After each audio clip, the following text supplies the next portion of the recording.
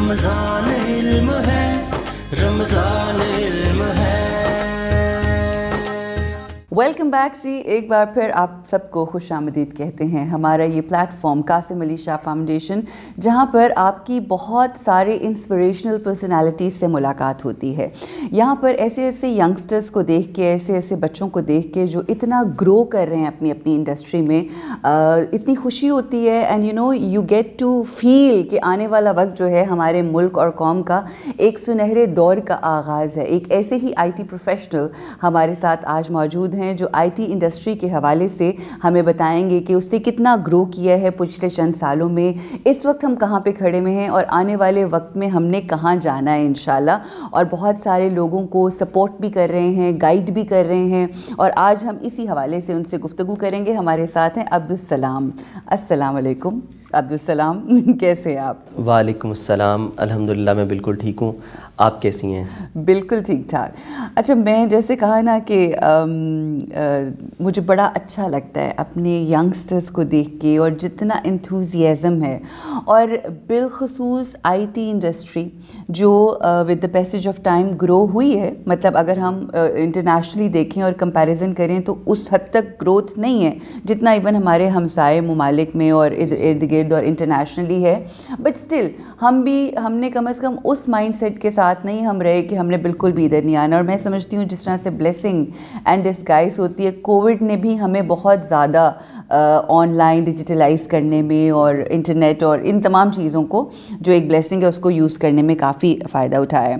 पहले तो अब्दुलसलाम मैं चाहूँगी कि थोड़ा सा आप ख़ुद हमें अपने प्रोफेशन के बारे में आप क्या कर रहे हैं किस तरह से आपने ग्रो किया है हमें ज़रा उसकी डिटेल्स दें। जी फ़र्स्ट ऑफ़ ऑल तो मैं शुक्रिया अदा करूँगा कासम अली शाह फाउंडेशन का कि उन्होंने मुझे दोबारा से चांस दिया कि मैं उनके फोरम पे आया हूँ और बात करेंगे आज इंशाल्लाह। तो इंट्रोडक्शन मेरा ये है कि मैंने आ, 2013 में मैंने ग्रेजुएशन किया था बी एस आई टी और उसके बाद फिर मैंने जॉब की और 2017 में फिर हमने ये नाइन का स्टार्टअप जो है वो शुरू किया था। ठीक। तो उसके बाद थ्री टू फोर इयर्स के अंदर अलहमदिल्ला आज हम इस पोजीशन पे हैं। तो बेसिकली जो हमारी कंपनी है ये मोबाइल एप्लीकेशन डेवलपमेंट और गेम डेवलपमेंट पे काम कर रहे हैं हम लोग। बिल्कुल ठीक। और uh, हमारा सारा बिज़नेस सारा काम गूगल के साथ है। एक्सेलेंट एक्सेलेंट सुपर अच्छा अब्दुल सलाम ये बताइए कि जैसे कि हम मैंने मैं हमेशा अक्सर तस्करा करती हूँ कि जब भी कोई एक हमारी कौम का रुझान किसी एक प्रोफेशन की तरफ़ होता है कोई डॉक्टर बनना होता है तो सारे डॉक्टर इंजीनियर तो तमाम इंजीनियर्स फिर एमबीए का एक मौसम और हवा चली तो हर किसी ने एमबीए तो ये जो आईटी बिज़नेस में आपके आने का था ये आईटी की हवा जो चली कुछ चंद साल पहले उसकी वजह से या आपका अपना पर्सनल इंटरेस्ट था? आपको लगता था कि ये मेरा पैशन भी है? जी बिल्कुल। इसमें जब एडमिशन लेना था मैंने ग्रेजुएशन करनी थी तब तो मुझे बहुत ज़्यादा आइडिया नहीं था। आ, हम्म। हमारे एक डॉक्टर साहब थे मुझे उन्होंने सपोर्ट किया था कि आप जो है ना वो एडमिशन लें और आईटी में चले जाएँ। आने वाला टाइम इसका। हम्म। तो बस ये सोच के आगे थे। लेकिन ग्रेजुएशन के बाद जब मैंने प्रोफेशनल करियर का स्टार्ट लिया और जॉब करना शुरू की तो तब फिर समझ आया कि नहीं इंडस्ट्री जो आईटी इंडस्ट्री आने वाले टाइम में बहुत बूस्ट होगी hmm. और हमें इसमें काम करना चाहिए। सही and that was that was a time when you decided this is what I want to do बिल्कुल। अच्छा अब आप इस इंडस्ट्री में आ गए हैं तो इस अपने साथ साथ जो यंग बच्चे अभी ग्रेजुएट्स हो रहे होते हैं या इवन hmm. पढ़ाई की तरफ़ जा रहे होते हैं तो उनको आप प्रमोट करते हो और उनको गाइड करते हो कि ये एक इंडस्ट्री है क्योंकि जब आप आए तो you are uncertain so you did really didn't know कि आने वाले वक्त में क्या है मगर आज आज अगर हम देखें और इतना काम करके चंद सालों में जो आपने एक्सपीरियंस गेन किया we can like you know look through हम देख सकते हैं कि आने वाला वक्त आईटी ही है और आ, और उससे आगे ही आगे के मामलात हैं। तो क्या देखने वाले बच्चों को क्या पैगाम दोगे जी बिल्कुल हमने जब स्टार्ट लिया था ना तो प्रोफेशनल्स बहुत हमें ग्रूम्ड लोग नहीं मिलते थे मार्केट में। ठीक। तो हम लोगों को हायर करते थे तो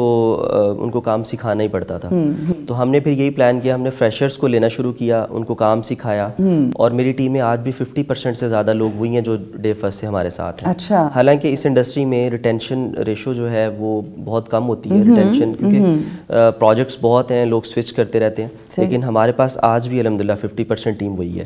तो ये वो बच्चे थे जिनको हमने बिल्कुल फ्रेश फ्रेशर्स थे उनको काम नहीं आता था हमने उनको हायर किया इंटर्नशिप्स करवाई और उसके बाद फिर लेके चले काम सिखाया और आज वो हमारे पास सर्व कर रहे हैं अच्छे लेवल पे अल्हम्दुलिल्लाह। दैट्स सुपर सो अभी जो आपकी कंपनी है या जो जिसके लिए आप कर रहे हो और बाकी बच्चों को भी तैयार कर रहे हो और कर रहे हैं बच्चे ये नाइन ही है? जी नाइन डी टेक्नोलॉजीज़ के नाम से हमारी कंपनी का नाम है सही और नाइन डी टेक्नोलॉजीज़ में आप किन किन क्या किन एस्पेक्ट्स के ऊपर क्या काम करते हो? हमारा हम लोग करते हैं मोबाइल एप्लीकेशन डेवलपमेंट और गेम अच्छा। डेवलपमेंट गेम प्ले स्टोर से आप लोग मोबाइल एप्लीकेशन डाउनलोड करते हैं। और गेम्स डाउनलोड करते बनाते हैं आप वो हम लोग बनाते हैं। That's very good very everything is interlinked अच्छा ये बताएँ अब्दुल सलाम कि ये जो चंद गुज़श्ता साल गुजरे हैं इसमें बहुत डेवलपमेंट हुई है। पाकिस्तान ने भी तरक्की की है। एक तो ये जो सफ़र गुजरा है हम्म। मगर हम अपने इर्द गिर्द अगर देखें बिलखसूस अपने हमसाय ममालिक में देखें या इवन लार्ज स्केल पर जाते हुए यूरोपियन और वेस्टर्न वर्ल्ड में देखें तो वहाँ पर बे इंतहा चेंजेस और बहुत हम इस सफ़र में कहाँ खड़े हैं आज?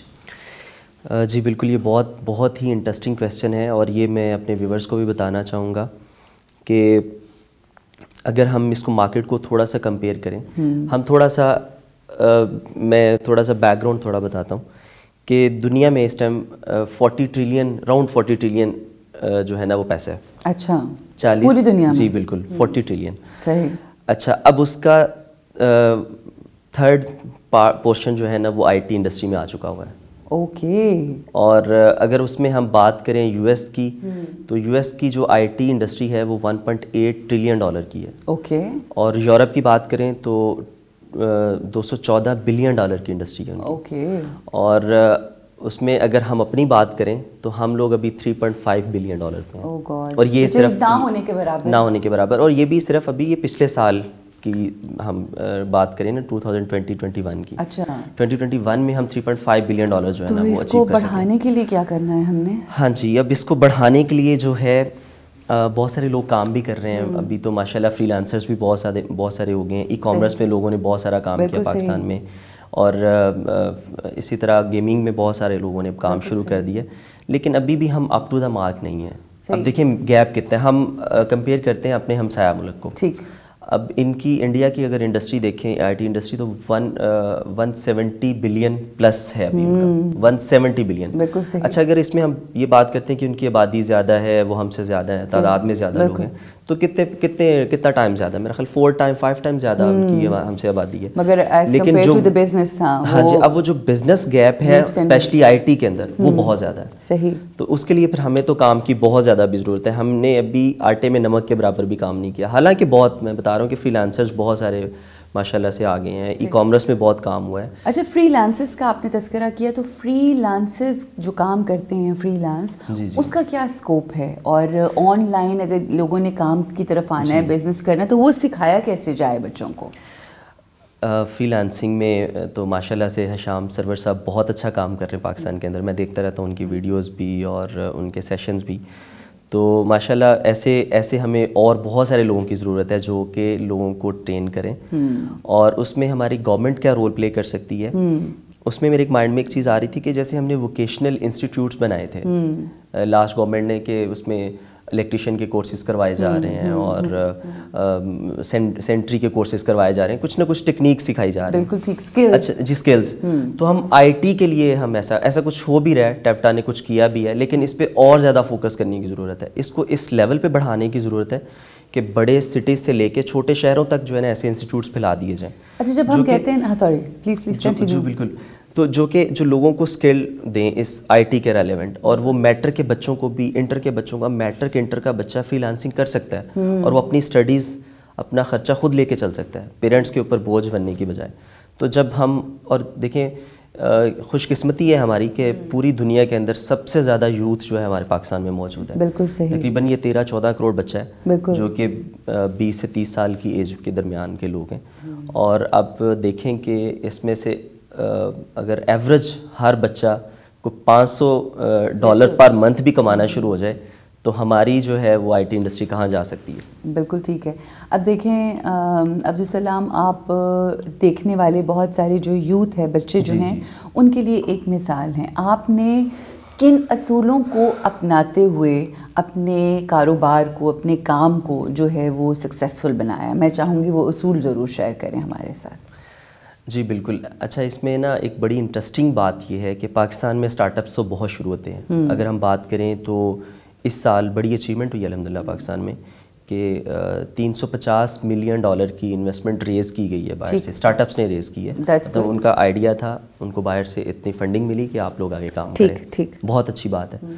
और इतना ये इतना ये बूस्ट हुआ है कि पिछले अगर हम दो हज़ार पंद्रह से दो हज़ार बीस तक का अगर देखें तो वो तकरीबन पाँच सौ तिरसठ मिलियन डॉलर थे जो पाँच सालों में आए। अच्छा। और अब अच्छा। एक साल में साढ़े तीन सौ मिलियन डॉलर हुआ। तो, तो ये ह्यूज डिफरेंस है।